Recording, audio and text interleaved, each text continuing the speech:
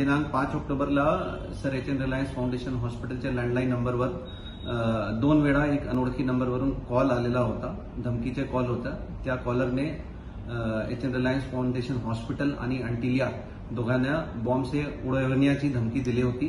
तसेच अंबानी कुटुंबियांचे काही सदस्यांना जीवेठार मारण्याची धमकी दिली होती. या प्रकरणाची गंभीरता पाहून मुंबई पोलिसने तात्काळ या प्रकरणामध्ये डीबीमार पोलीस स्टेशनला गुन्हा दाखल केला. आणि वेगवेगळा पथक तयार करून आरोपीचे अटक करण्यासाठी पथक रवाना करण्यात आलेला होता. मध्यरात्री काल दरभंगा बिहारमध्ये जे सुमारास एकशे सत्तर किलोमीटर आहे राजधानी पटना वरून तिथून मध्यरात्री आरोपी ज्यांनी कॉल केला होता त्यांना बिहार पोलीसच्या कोऑर्डिनेशनमध्ये मुंबई पोलीसने ताबा घेतलेला आहे. आणि सध्या मुंबई पोलीसची टीम आरोपीला घेऊन मुंबईला परत येत आहे. आरोपीला आज कोर्टमध्ये प्रोड्यूस करण्यात येईल आणि या प्रकरणाची सखोल तपास मुंबई पोलीस करत आहे. धन्यवाद. असेच आणखी व्हिडिओ आणि बातम्यांसाठी डाउनलोड करा दिव्य मराठी ॲप.